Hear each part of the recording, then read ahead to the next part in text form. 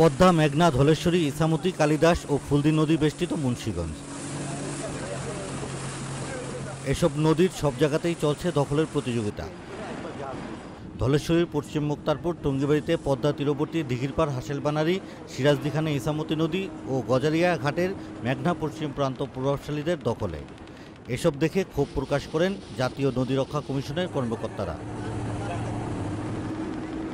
পাশাপাশি নদী সংলগ্ন কলকারখানার কেমিক্যাল বর্জ্য, সিমেন্ট কারখানার ক্লিংকার ও ইটভাটার কালো ধোঁয়ায় দূষণ ছড়াচ্ছে।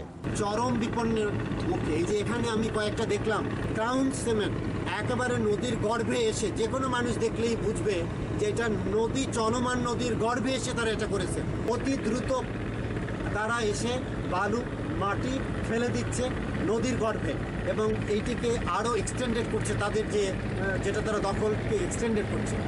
একটু একটু করে জমি দখল শুধু শাহ সিমেন্ট নয় নদীর পাড়ে এই যে সিমেন্ট কারখানাগুলো আছে সবাই করছে। আমাদের কমিশনে আইন আছে কমিশন আছে সেভাবে আমরা ব্যবস্থা নিই পরিদর্শন শেষে বুধবার দুপুরে জেলা প্রশাসকের সভাকক্ষে আয়োজন করা হয় মতবিনিময় সভার। সরকারি জমি কিংবা নদী কিংবা পরিবেশ রক্ষা করার জন্য কোনো ধরনের প্রভাবশালীকে আমরা ছাড় দেব না এবং সরকার থেকে আমরা এক্ষেত্রে নির্দেশিত। দখল দূষণের হাত থেকে যে কোনো মূল্যে নদী রক্ষায় একমত হন সংশ্লিষ্ট কর্মকর্তারা। Rasel Mahmud channel I Munshiganj.